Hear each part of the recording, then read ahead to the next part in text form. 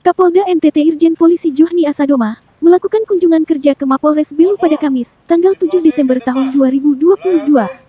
Kunjungan kerja Kapolda NTT didampingi Ketua Bayangkari Daerah NTT Nyonya Vera Johni Asadoma.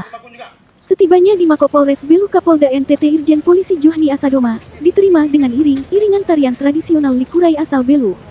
Usai prosesi penobatan tersebut Kapolres Belu AKBP Yosep Krisdianto memberikan laporan situasi dan sebagai tanda kehormatan, jajar kehormatan pun diberikan kepada Kapolda NTT sebagai wujud Polres Belu siap menerima kunjungan.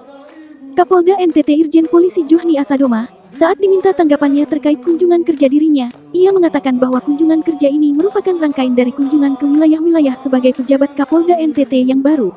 Selain itu ia menyebut kunjungan kerja untuk menyampaikan visi dan misi kemudian melihat situasi kondisi kesatuan wilayah Polres Belu dan kemudian komunikasi dengan unsur-unsur Forkompinda Kabupaten Belu. Kunjungan kerja hari ini? Ya, ini kunjungan kerja hari ini merupakan eh, rangkaian dari kunjungan kerja saya ke wilayah-wilayah sebagai pejabat Kapolda yang baru ya untuk menyampaikan visi misi untuk melihat situasi dan kondisi kesatuan dan situasi dan kondisi wilayah.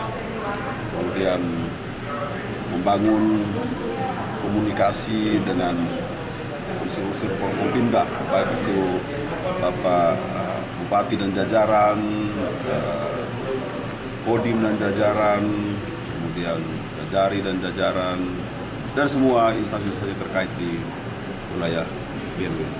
Dari Atambua, tim PNTV melaporkan.